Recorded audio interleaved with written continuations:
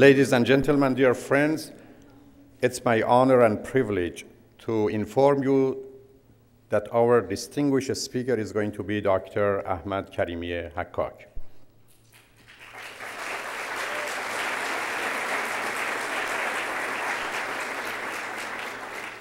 I don't want to waste any time. Therefore, I would like to ask Dr. Homa Mahmoudi, our clinical psychologist, wonderful and beautiful, to tell us about Dr. Hakkak. Dr. Mahmoudi. Good afternoon, dear friends. It's really with great honor and pleasure that I would like to welcome all of you here and to thank the Mehragan Foundation, specifically Mr. Firouzi, the time witness, uh, how he has worked night and day with his with a non-existing staff to put this wonderful conference together. And to thank Dr. Holakouee for always having wonderful ideas and implementing a great conference for all of us. And I think allowing every one of us to think about the concept of freedom as it applies to our lives and to the world at large. Today, I have the honor of in the, uh, introducing a great friend, a wonderful man that I have loved and honored for many years. Dr. Karimi Hakkak was born in Mashhad in 1944 and he went through elementary and secondary school in his hometown. He studied classics of Persian literature at an early age with his father. He received his bachelor's degree in English literature in 1966 from University of Tehran. And then he came to United States and studied public education administration at University of Maryland for two years and returned to Iran to teach at University of Tehran. It's interesting, this man has been teaching since he was 20 years old. He taught English uh, at the Air Force Academy when he was just 20 years of age. Then he returned to United States um, to continue his studies and received a Master's of uh, Arts degree in English Literature in 1974 and then two graduate degrees in comparative literature from Rutgers University, uh, which is his MA and his PhD. In the early 1980s, Dr. Karimi Hakkak was a professor of comparative literature at Tehran University. But because of the revolution, he came to United States. And in 1984, after a year-long lectureship at University of Texas in Austin, he resumed his career at the University of Washington. He is now professor of Persian and Iranian literature, mean, Iranian culture and civilization at University of Washington in Seattle. I was looking at his resume. It's a book, first of all. It has, he has written many, many uh, pieces of literature. And when you listen to him and you read his work, you find how diverse his work has been. From Machu Picchu to Hawaii to French literature to Arabic to Tajikistan, it's all over the world. Professor Karimi Hakkak has taught comparative literature, literary theory, both in United States and in Iran. He has won numerous awards and honors, and he's very humble. He hasn't even included half of them in his resume, including a Mellon Professorship at the University of Chicago in 1992 and a Social Science Research Council grant in 1994. He was elected twice in 1998 and 2000 to chair the second and third conferences on Iranian studies. He is the author of 16 books and over 100 articles.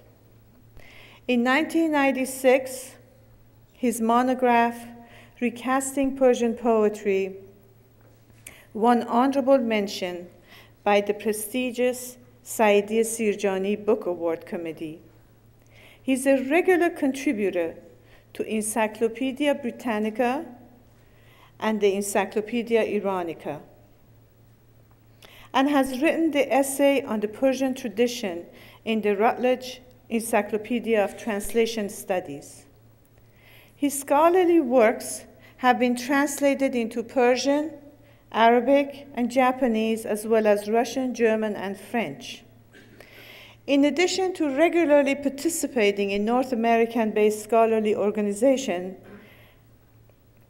such as the Middle Eastern um, Association MESA and the Society of Iranian Studies, he has presented papers at over 50 international conferences addressing various issues related to Persian literature and uh, Middle Eastern literary trans, uh, traditions, particularly as these relates to the application of literary theory uh, to the national literatures of the Middle East.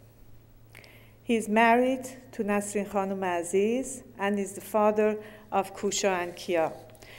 I want to tell you that recently uh, he was invited to deliver the prestigious Ehsan Yarshater Literature Series at UCLA. He didn't even include this in his uh, resume. It is a one week program that only top scholars are invited to give this lectureship. Many of us had the honor of listening to this to his impeccably well written and researched work. We were also aware that we were at the presence of an exceptionally unusual and wonderful human being, a self effacing, talented man of great intellect and sensitivity. It is believed that the greatest form of freedom is freedom from self.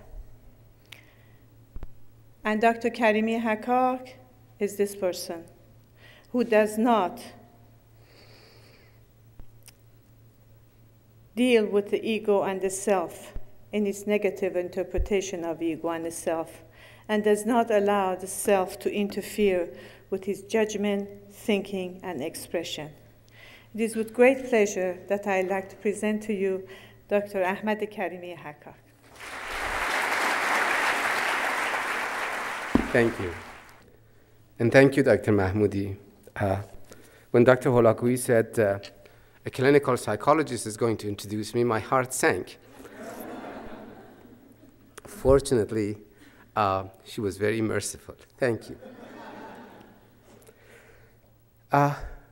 I sincerely would like to thank you all for being here. And I think it's uh, my duty, I'm duty bound to thank uh, all those people who have had anything to do with this gathering. It's a marvelous occasion. And I think uh, I would not be demeaning its uh, content in any way if I say it's a celebration as well. It's a celebration of a community coming to itself. And I think it's a tremendous occasion. Dr. Holakouee has for years, he, he's, I've, I've, cherished his friendship for the past 33 years. Uh, but in recent years, I've heard indirectly, unfortunately, because we do not have the uh, fortune of uh, being able to listen to him over his radio programs. Uh, but I think he has been uh, performing a, a superhuman service to this community, and I think it's, uh, it's, it's wonderful to have him among us. And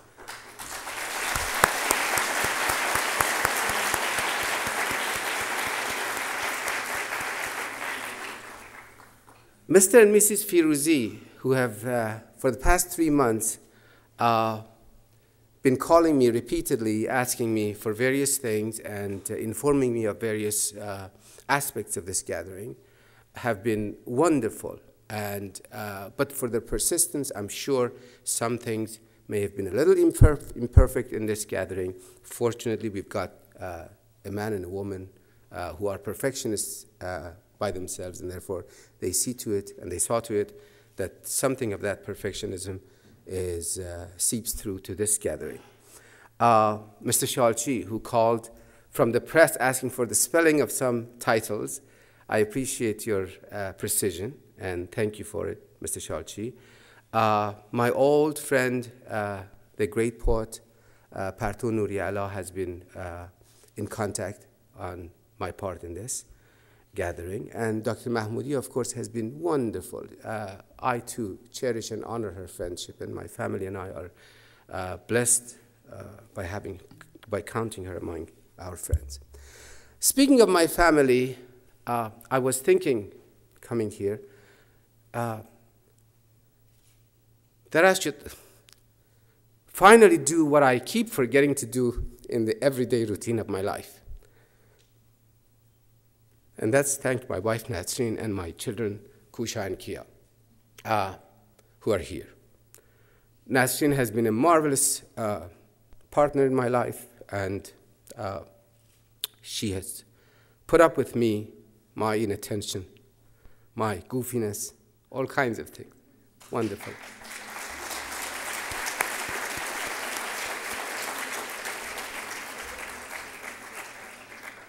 My sons are fast emerging as my greatest critics. In fact, uh, Kusha read a draft of what I'm going to present today and uh, made some wonderful suggestions, mainly points of clarification. Uh, as someone who works with young people, uh, among them young Iranian Americans, I think we, one of the greatest things we should be proud of and we can be proud of uh, are the children we are bringing up. And I see it as if in a crystal ball that the generation of our children is going to make its mark in history as a marvel of cross civilizational achievement. Uh, as you know, I've been given the opportunity, and I am thankful for it, uh, of giving two talks here. This one is in English. Tomorrow at 11.30, there will be one in Persian. The grand scheme and the main theme of the two talks are about the same, although my approach is going to be different. Uh, one of the peculiarities that those of us who speak, teach, read, and write in both languages come across is that you have to have adopt various uh, languages, various discourses. And I do not mean Persian versus English. There's a, a language of a scholarship in Persian and another language of a scholarship in English. And I think uh, that's why I've never attempted to translate my own work into Persian because I think uh, it does not communicate anything except to those who already can read the English. Uh, I rather would advocate an approach where versions of our work are then presented according to the universe of discourse in a particular discipline that may be uh, applicable in Iran as, as, as in the United States. But that's not my subject. In this talk, I'm going to go about this talk in a rather disciplined way by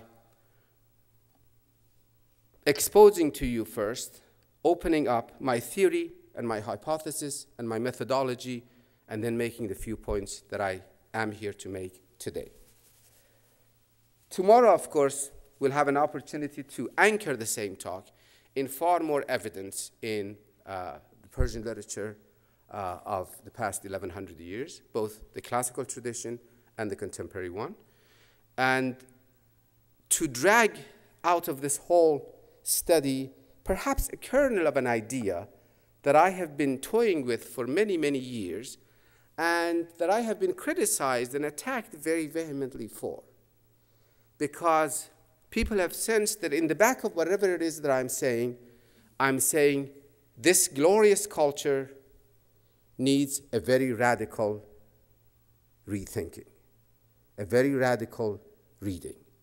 Parts of those radical readings have been offered by uh, my colleagues, among whom Farzaneh and Abbas Milani, and I cherish their work for that. Uh, Part of it remains to be done.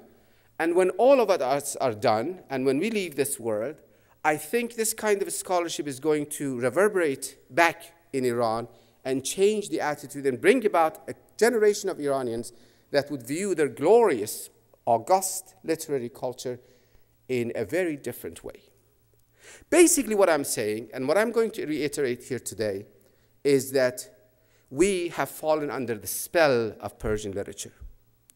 That we submit to it and to its persuasive power all too uncritically, without asking the right questions and without acknowledging the alterity, the heterogeneity, the otherness of the people who have left that patrimony, that heritage to us.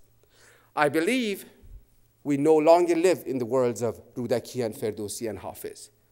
And much as, of course, we need to read them and honor them and treasure them, we need to realize that they were another. That our duty today dictates that we capture our own world, define our own world, and live in our own world finally once and forever. And look at Persian tradition, read it in the same way that a scientist looks at a cell under a microscope. I believe we have not done that. I believe all too often we come to Hafiz on our knees, already down. Why? Why do we do that?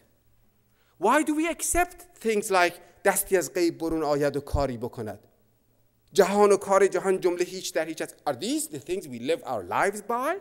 And not only do we do that, we go around telling our friends that we actually do augury, open our fortune on the basis of Hafiz's Divan. I never do that. I don't believe you do that. I don't believe you go out buying and selling stock on the basis of the, the, the poem that you opened on, on the page the, the evening before. Why we do that, it beats me. Some things become cliche. We keep repeating them and leave an image of ourselves in our host cultures that really does not jibe with reality. My basic point is going to be we need to nurture more rational, critical thinking in our culture. The theory I'm going to base my talk today, brief as it has to be, is basically that there is such a thing as culture. And yet, culture too is a dynamic, ever changing entity. Not only that, that culture has subspecies. And two of those, subspecies are political culture and aesthetic culture. And once we approach these categories in this way, and once we read our literature or offer a reading of our literature or a rereading of of our literature, that leads us to the aesthetic culture that is the basis for it. And once we transpose and transfer that energy from the aesthetic culture to the political culture, we will then come up with a kernel of some truth. We will begin to understand our political behavior. Politics is rooted in political culture, in other words, just as literature is rooted in aesthetic culture. Our behavior on the political scene cannot be imagined to be totally divorced and isolated from our behavior in the literary scene. After all, political culture is that system which gives us our way of behaving in politics. Whether we vote or not, whether we join political parties or not, whether we demonstrate for or against this particular state, whether we actively participate in political processes, whether we want, as we seem to have wanted all through the 20th century, a huge government to solve all of our problems, some say to kill all of our enemies, eradicate them, or whether we begin to behave otherwise, I submit to you today that there are pieces of knowledge that we can get from our beautiful literary tradition that are relevant to that behavior. That being my theory, I then say, well, we certainly have a lot to be proud of. And other speakers have touched on those too. And I can only detail them on that. But the fact is that, as they too have mentioned, for over 150 years, people have been trying to bring about political freedom but have not been that successful. Of course, the political culture has changed just as, just as the general culture change, has changed, in the same way that I do not behave the same way towards my wife, and I do not view her in the same light as my great great grandfather may have viewed his wife. In fact, sometimes I tell my students, go ahead, present three slices of Iranian society to me 1900, 1950, 2000. A lot has changed. Not even an Ayatollah Khomeini, with that huge mandate of the revolution on his shoulders, could say, okay, women cannot vote. We have crossed that milestone. Not even with all the efforts of the early years of the revolution were Iranian women cowed into becoming good mothers and good mothers only. So there's a lot of change. There's a lot of positive change. Why is it then that all these, this collective effort to bring about political freedom does not seem to have borne fruit? I submit to you that it is because, number one, we don't see the changes that have been brought about. And number two, because we, we, in a way, preach one thing and practice another. We do not put our money or our feet where our mouth is. We express the desire to achieve political freedom, but we are not willing to pay the price. That is basically the theory I'm going to base my talk today. My hypothesis is that we have established institutions that are supposed or were supposed to bring about political freedom. We do have a parliament, we do have courts, we do have the separation of powers. Where, have, where has things gone wrong?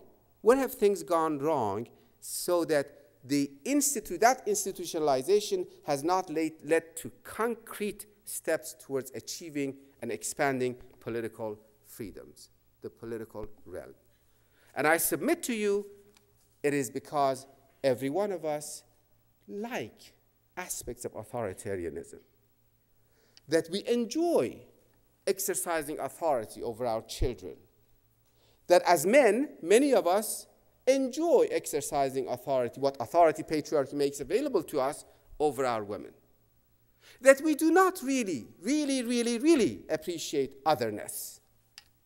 We pay lip service to religious diversity, we pay lip service to linguistic diversity, but what does it actually mean to say that Turkish Iranians and, and Persian Iranians are both Iranians of equal rights. Which one of us is willing to even say, even if Iran gets divided, it is more important for that Turkish speaking Iranian to get his freedom? Of course, we'll try not to let that happen because the integrity of a country is at stake, and we'll try to assure and ensure as many rights for them within a, if necessary, a federated system whereby their linguistic and cultural otherness is fully acknowledged and celebrated. I know some of what I'm going to say is not going to sit well with some people, yet hear it from me. Now, finally, it is my assumption, of course, that in our glorious classical literature, while the ideal of freedom is there, it is not the kind of freedom we seek. That in this literature, as in our society today, and much more so in the past than today, we value stratification, we value hierarchy, we, we go through gestures of superiority and submission. We go through gestures of who is better than whom and why. And those things I submit to you are maybe old, outdated norms, social norms that we need to leave behind. Now, we do have things to celebrate. Look at you. Look at this gathering. The organizers of this conference have doubtless sensed the urgency of putting the issue of freedom and not necessarily political freedom, but let's say spiritual freedom, mental freedom, freedom of worship, freedom of work, freedom of play on the agenda. So, there's hope. There's a lot of hope.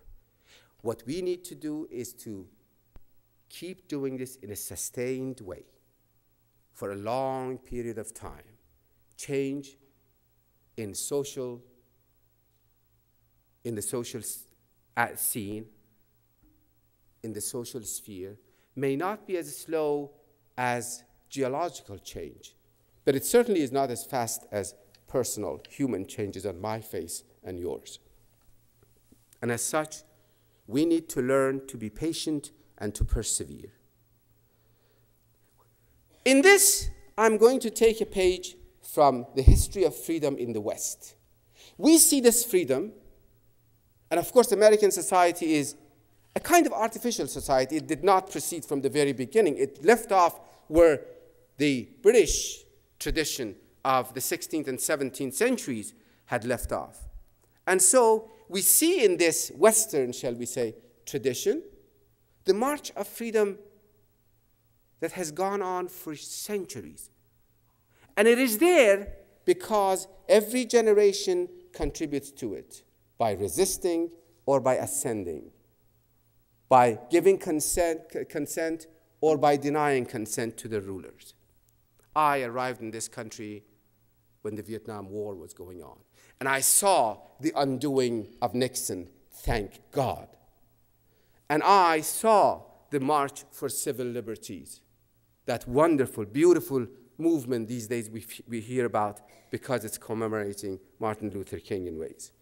And so I think we need to pause, give ourselves credit, and continue our march with vigilance, under the watchful eyes of our children's children, and encourage them to proceed.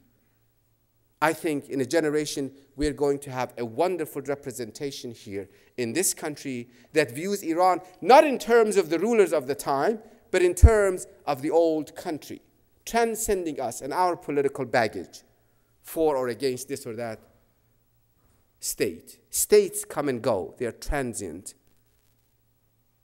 Cultures are what we need to pay attention to. And I would like to submit to you that the whole course of Iranian modernization gives us real cause for pride, not hollow, boasting, boastful pride. But it tells us that in areas where we have been able to modernize more or less completely, it has taken the patience of generations to go through the modeling activity, to look around, to look at the Paris of the 1870s and 80s and 90s, to look at the French Revolution and see what kernel of idea can be transplanted into Iranian society of the time. That, after all, is what brought the, the, culture of the constitutional movement to Iran. As a result, I would like to argue that appropriation and indigenization, that is, making things native and appropriating, read Said Fakhreddin Shadman's book, Taskhir Tamaddun Qarbi*. or تسخیر تمدن فرنگی. It's a wonderful thesis. It says, we conquered this. We are so great that we did conquer this, these elements from the West. Once we start to change this mental pattern into what we indeed, not any single individual, but we as generation after generation of Iranians have done, that really brings cause, becomes cause for our pride. I would like to argue with you that by the time that changed into the model of Garb Zadegi, or being struck by the West, we went into a defeatist mode, which we still are, into a mode of withdrawal, into a mode of somehow running after some notion of purity in our own culture that never was there. It never was. Neither during the Sasanian, nor during the uh, Islamic period, nor even definitely during the Safavid and on. But of course, there were periods when efforts, great efforts, were made. And, I will, and I'm going to speak to you about that. So, given those strategies of presentation, my talk is going to be historical and comparatist. I'm going to make analogies with Western countries, Europe and the United States, and I'm going to move you through stages of history. Let me begin this way. The relations of power and authority, observable in Persian poetry and prose, both classical and contemporary, are not conducive to the nurturing of the notion of freedom as we understand it or ought to understand it. Nixon is going to China. Myself, a professional student of literature, is going to tell you something is wrong with our literature, except that I'm not going to invite you not to read it, because that would be the best way of submitting to it. I'm going to ask you to give yourself agency and make you determine what Hafiz means to you. Do not allow that man, because he's a devil in language. He can govern your minds so easily. Liberate yourself from the discourse of Persian literature, and then look at him and say, I accept this line and this image, and I do not accept this and that image. After all, that kind of dialogue has been going on in Persian literature for so many generations. When in a rubai attributed to Khayyam we hear, ای کاش پس از هزار سال از دل خاک چون سبز امید بردمیدن بودی and in, another, in, a, in a ghazal by Rumi we hear کدام دانه فرو رفت در زمین که نرست چرا به دانه انسانت این گمان باشد we are already observing a dialogue a debate. The image of a seed planted in the soil and the likelihood or unlikelihood of its growth or whether this is a good analogy for life after death becomes the bone of contention. We have lost those bones of contention. We no longer question our classics as much as we should. We are proud of Ferdowsi. And of course, it's wonderful to have him. He has given us so many of our myths. Without him, we would not have had them. And yet, we either read him wrong, and when Rostam Farrukhzad says something like tofu bar toy gardun tofu, we think he has said that, whereas he has not. Or we simply think that he his kind of freedom is our kind of freedom, but it's not, for your information. In the whole tradition of the early, early Persian poetry, the tradition of the ghazal and the qaside, the kind of dialogue that goes on between the poet and the patron is of no use to us because it nurtures mutual flattery and mutual uh, tutelage. The poet sings the praises of the patron, king, or minister, or prince, or whoever, thereby assuring or working towards the assurance of his good name in history, and the patron rewards him materially, sometimes by filling his mouth with pearls. Is that how we want to relate to our authorities? I suspect not. Therefore, that tradition needs to be studied as closely as we can and then put in its own place. Just as we put the pottery of our ancestors of thousands of years ago in museums and look at them and marvel them, but we do not eat out of them, do we? We should stop allowing Persian poetry to dictate our patterns of thinking. That is my opinion. All right. Those relations are functions of the history that these men and women have lived. In the early Persian ghazal and qaside, of course, you see an outwardly wonderful, worldly, beautiful, beautiful universe. شاد با سیاه چشمان شاد که جهان نیست جز فسانه و باد. It's a wonderful dictum, but it does not tell us about our rights as citizens, nor should it. Why should we why should we have Rudaki speak our mind? We are not speaking the minds of people who come thousands of years after us, nor can anyone. We should stop expecting that. We should give ourselves agency, authority to read them and choose from them as carefully as we can.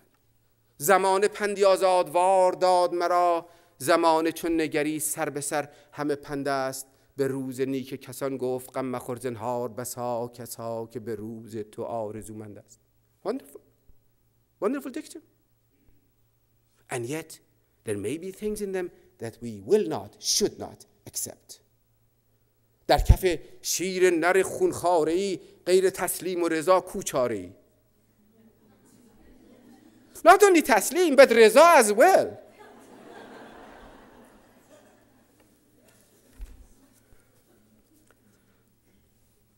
Look at our political culture. Shah Abbas has a boastful pride, calling himself Kalb Astan Ali, the dog of Ali's doorstep. The Qajar kings, one after another, leave, leave, leave te- testimonies, testimonials to be buried not in the country they ruled, but at the foot of some imam in Iraq. And the late Shah of Iran spoke of Abul Fazl taking his hand, and when that, that was when Tawfiq said, Abul Fazl didn't even have hands.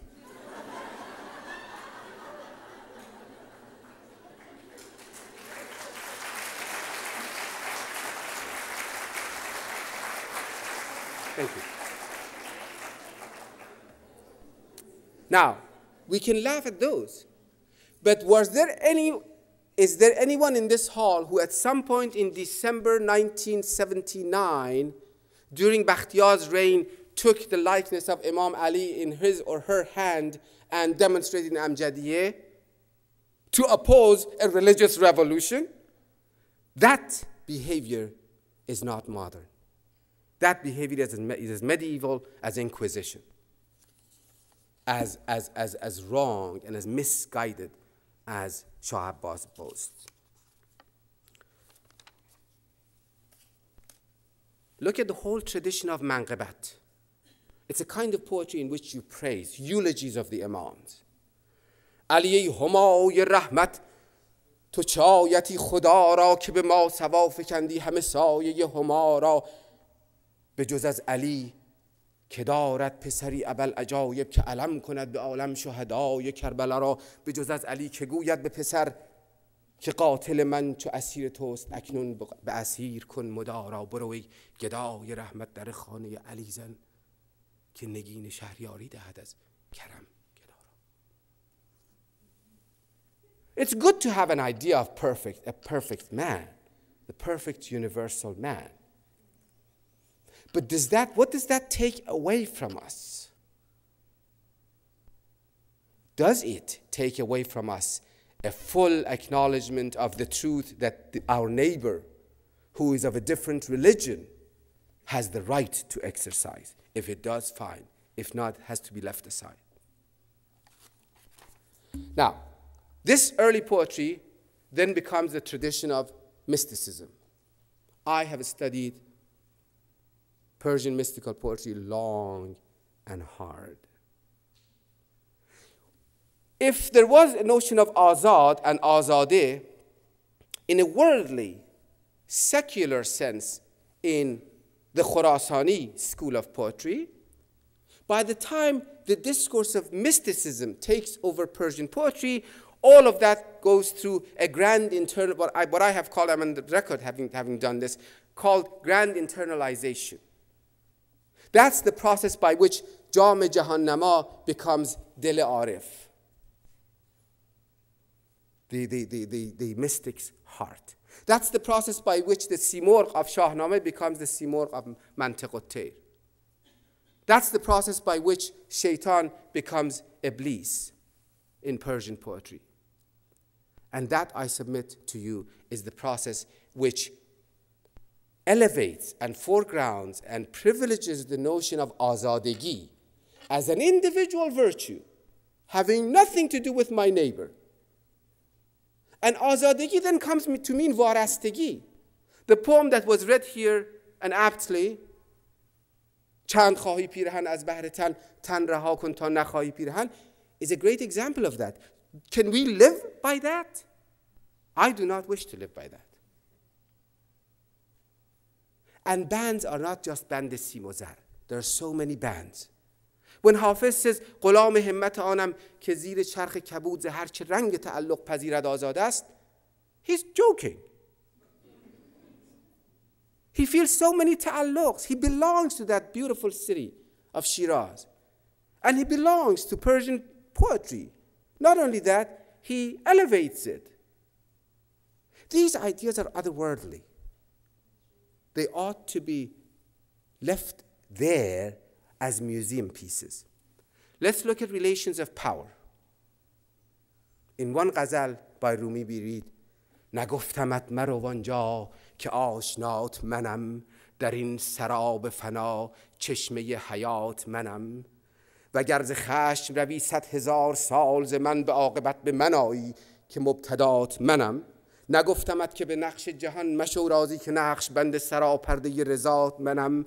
نگفتمت که تو را ره زنند و سرد کنند که گم کنی که سر چشمه صفات منم.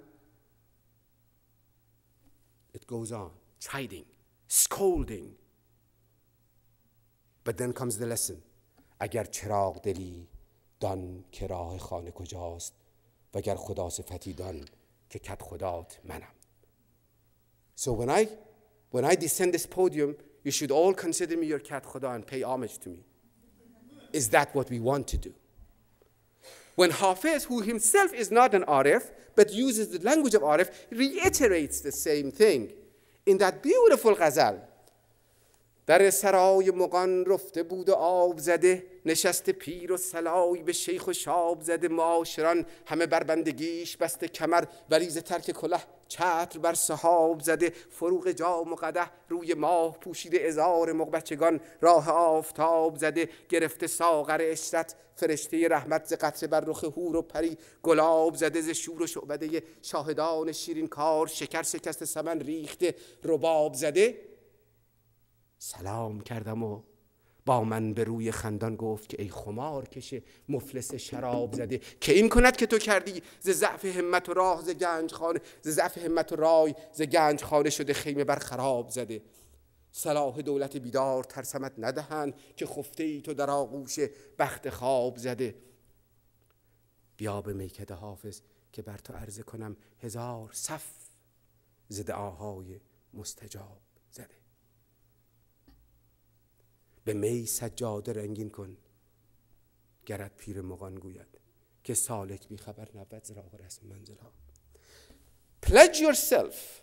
One reads in mystical literature about these elaborate initiation rites, about absolute loyalties, about blind allegiances, about uncritical followership, and about all kinds of unseemly behavior or behavior that we today would think of as unseemly.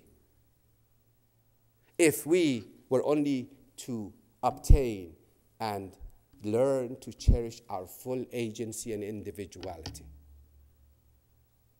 I am the one who gives that literature meaning. That literature is not going to infect my mind. I am going to take from it what I want and look at it and define my, my distance from it in my own terms. I say this because I feel a tremendous admiration for Sufism. I think it had a real and very significant historical mission to accomplish, and it did accomplish that. At the time when orthodoxy, Islamic orthodoxy, was covering everyone in a blanket of conformity, there were people who said life has to be lived experientially. گر مرد رهی میان خون باید رفت از پای فتاده سرنگون باید رفت تو پای به راه در نه و هیچ مپرس خود را بگویدت که چون باید رفت A literature of experience It's gorgeous, it's beautiful It has so much to offer us But it cannot again become our operating principles. It also provided a wonderful personal way towards salvation for those of us who still need spirituality, who still need divinity, not just to because they're thinking of afterlife, but because they want to live their lives morally and ethically. So I am not, please do not understand me as saying mysticism is bad or misguided. I'm just saying it's a historical phenomenon and it has served its useful purpose. The mysticism of our time is looking to my heart. When Coleridge, at the beginning of the 19th century, the British poet, wanted to express the same idea of the presence of something spiritual in the air, he made a poem. It's wonderful. And what if all of animated nature be but one organic heart diversely framed, through which blows an intellectual breeze at once, the soul of all and God of each? Same idea, but prefaced by what if? In other words, and what do you say? It's inviting dialogue. Whereas the poetry of Iranian mysticism, Persian mysticism, Islamic mysticism is the poetry of you shut up and listen to, and I will tell you what it's all about. That's how it is. Hami gofto, Saadi says at, the end of that wonderful uh, poem, Shabi yad daram که چشمم نخفت شنیدم که پروانه باشم گفت که من عاشقم گر بسوزم رواز تو را گریه و سوز زاری چراست بگفت ای هوادار مسکین من برفتن گبین جان شیرین من رو the, the, the, candle is made out of you know when, when honey goes out of, out of uh, wax. چو شیرینی از من به در می رود چو فرهادم آتش ز سر می رود تو بگریزی از پیش یک شعله خام من استادم تا بسوزم تمام. تو را آتش عشق اگر پر بسوخت مرا بین که از پای تا سر بسوخت. همی گفت و می‌رفت دودشت سر که این است پایان عشق پسر.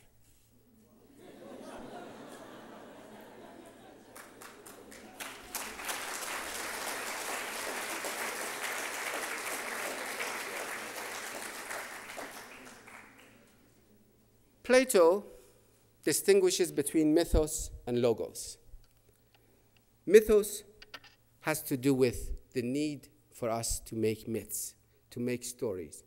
Indeed, as I'm going to reiterate and emphasize tomorrow, our universe is not a universe of atoms and molecules, it's a universe of narratives and stories. And in that sense, man is a myth making creature. The point is, as man moves more and more towards the field of science, intellect is nurtured more and more. And so, in Plato, even Plato 2,500 years ago considered the two complementary. But of course, in every culture and any given in point in time, one of them is superior or is thought to be superior and dominates the other. And I suggest to you that for all our logocentricity as a culture, mythos has ruled over our minds for centuries. Mythos in Persian literature. And by logos here I mean intellect, the exercise of intellect. Mr. Moshiri made mention of rationalism. Several speakers did, as a matter of fact. And I cannot agree more. I think it's right on target. We need to nurture rationalism rational thinking, the exercise of intellect, analytical mind, those things that happened in Europe during the Renaissance. You know, it's interesting. In 1492, Columbus sailed the ocean blue, and in 1492, something very important happened in Persian culture. Jami, Abdurrahman Jami died. He's the last great medieval poet. And within a decade, Shiism became the religion of Iran, the official religion of Iran, thereby cutting Iran on the one hand from this large Islamic culture which had given us the beautiful uh, poetry of mysticism and the whole philosophy of mysticism. And on the other hand, it's brought about one of the most reactionary interpretations of religion on record in history. You know, the uh, rituals we, call, we used to call Omar Koshan started there and so many other, so many other uh, atrocities. Rational thinking, a la Greek, is going to be very important. Reason at various times has been contrasted to sense experience in rationalism, and human intellect has been judged at times as an absolute capable of discovering all the truths of the universe. We need not go that far to talk about our duty our national obligation to nurture critical, rational thinking. Unfortunately, we still live, not those of us who have been thrown out of that, that, that whole, uh, that whole uh, uh, machine, but many still live in a culture of rote memory. Respect for, for the heritage. And it's interesting. The less people know that heritage, the more they seem to respect it, or at least stand in awe of it. There are gradations of rationalists, of course. John Locke was mentioned several times by Mr. Moshiri, and he's right again. He told us that materials of knowledge emanate from reason and from individual experience. All of this was made possible in the Renaissance. Scientists like Galileo, Copernicus, philosophers like Locke, Kepler, and Descartes, later Hegel, Hegel and Hegelians all, all did this. Uh, Galileo has a statement that I would like to emphasize. He says, all of, all of the world's truth is written in the great book of nature. It's only one step from here to Darwin, whether we agree with him or not. It's only one step also to Marx, because the truth of history is part of our nature too.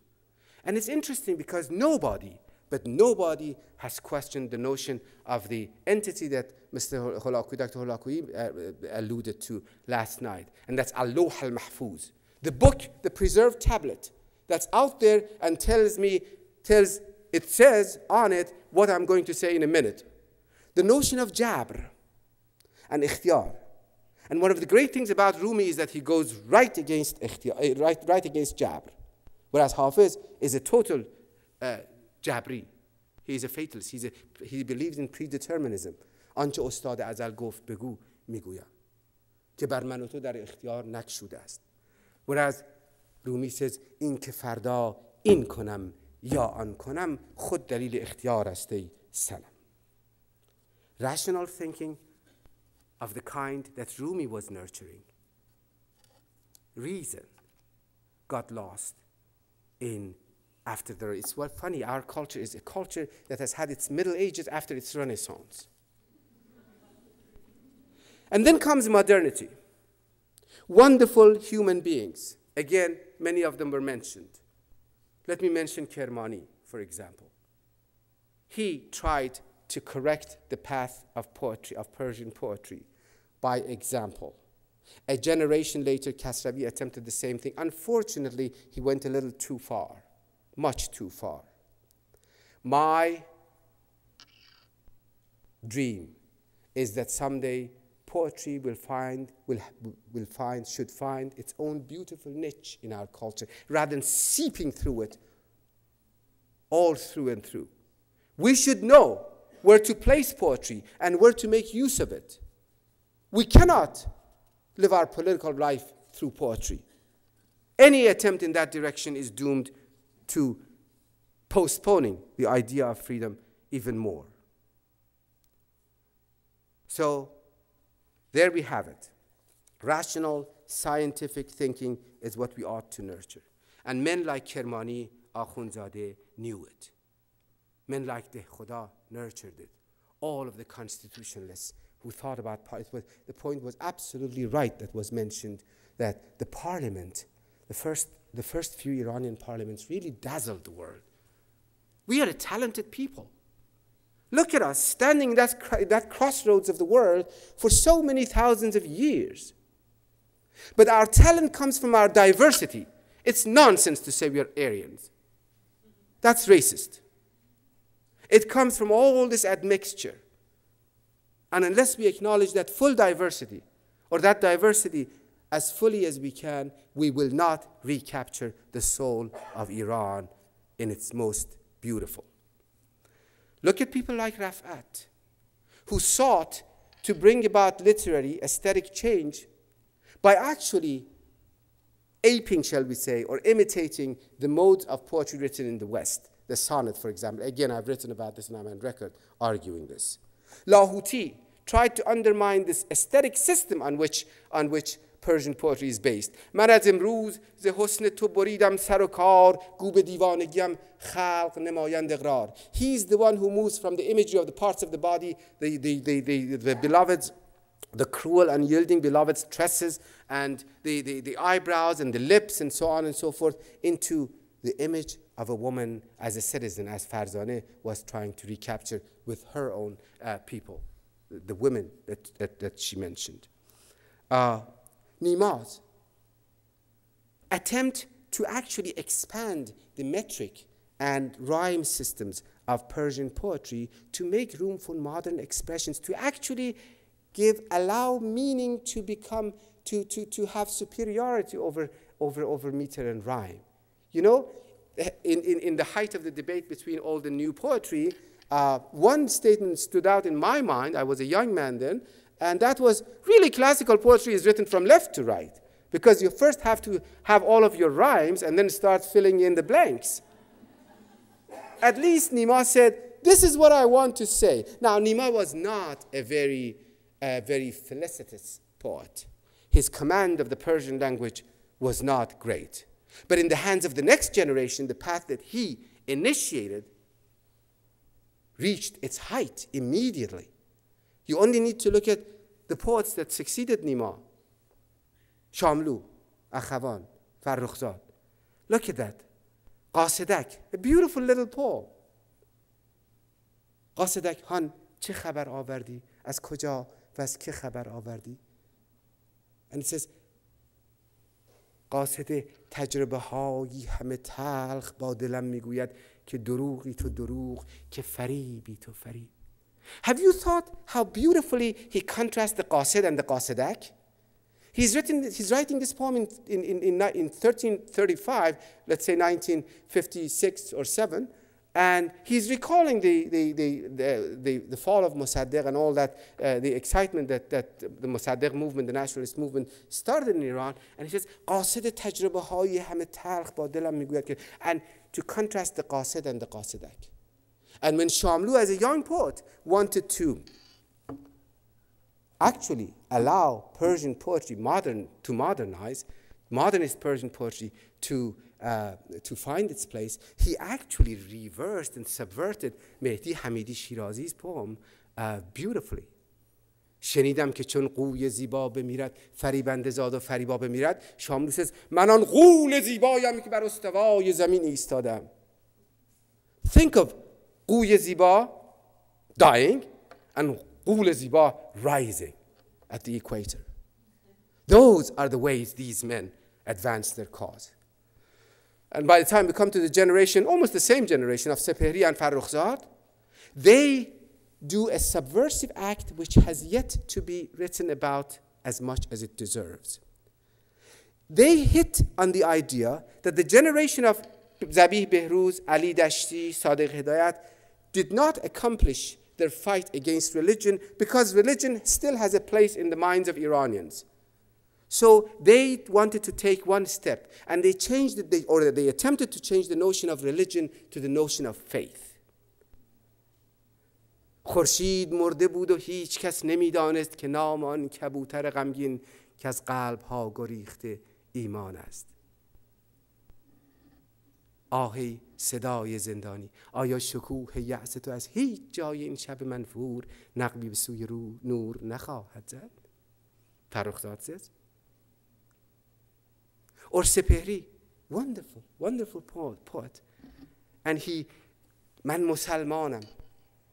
قبلم یک گل سرخ جانمازم چشم مار you know, you know the poem حجر الاسود من black stone روشنی باغچه است so we come all the way and all this way in order to make this point and this is going to be this is going to be about my final point, although I have a number of pages uh, to read and to, to, to, to address. Uh, Custom made faith. That seems to be what these poets prescribe. And as I said, we need to release ourselves from bondage to mythos, the need to make myths. There are no perfect men, there are perfectly good men and women. So uh, Sultan Walad, the son of Rumi, compares the relationship of, between his father and Shams to the relationship between Moses and Khizr. And you know, both in the Quran and his narrative, Khizr is this very shadowy figure who wants to educate Musa and takes, takes Moses uh, uh, uh, along with him, and he says, I'm going to do things that you're going to be dumbfounded, but you cannot ask any questions. You see, it's the sheikh, the guiding sheikh, and the novice Sufi. And then he kills a baby. And then he does all kinds of things. And when it comes to the killing of the baby, Moses can't help. He said, You, you just killed a human being. And he says, Look through these fingers. And shows him that in 25 years, that, that, that uh, uh, boy would have been a, a, a dreadful murderer. That's, that's relegating all of these things to the realm of the master. No wonder people still look for charismatic leaders. We need to stop that search. We need to start incrementally gaining territories of freedom, one after painful one.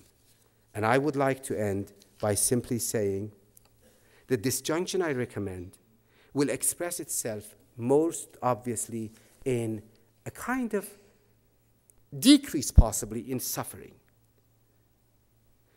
Wonderful as it is to have immediate contact with these great texts of the past, the price we have paid for uncritically reading them and submitting to their persuasive power has been insufferably high. We may not notice it because it expresses itself very indirectly in hidden ways. This high price is expressed in indirect ways,